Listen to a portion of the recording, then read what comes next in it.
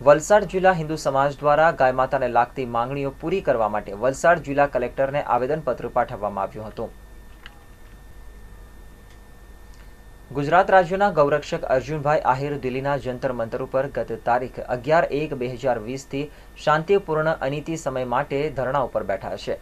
જેના સમર્થનમાં ગુજરાતના અન્ય યુવાનો ઓગણત્રીસમી સપ્ટેમ્બર બે હજાર એકવીસથી ગાય માતાને લાગતી આઠ પ્રકારની માંગોને લઈને સત્યાગ્રહ છાવણી ગાંધીનગરમાં ધરણા ઉપર બેઠા છે, જેના સમર્થનમાં વલસાડ જિલ્લા હિન્દુ સમાજ દ્વારા આંદોલનને સમર્થન જાહેર કરવામાં આવ્યું છે અને ગાય માતાને લાગતી તમામ માંગોને પૂરી કરવા માટે વલસાડ જિલ્લા કલેક્ટરને આવેદનપત્ર પણ પાઠવ્યું છે. આમ ગાય માતાને લાગતી તમામ માંગણીઓ આગામી દિવસોમાં પૂરી કરવામાં નહીં આવે તો હિન્દુ સમાજ જલદ કાર્યક્રમો કરવાની પણ ચીમકી ઉચ્ચારી છે.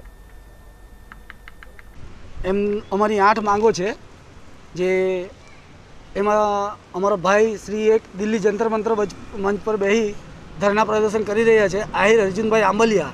એ છેલ્લા ત્રણસો ને દસ દિવસ આજે થાય. એમનું માંગ સ્વીકાર કરતા નથી સરકાર સાહેબ.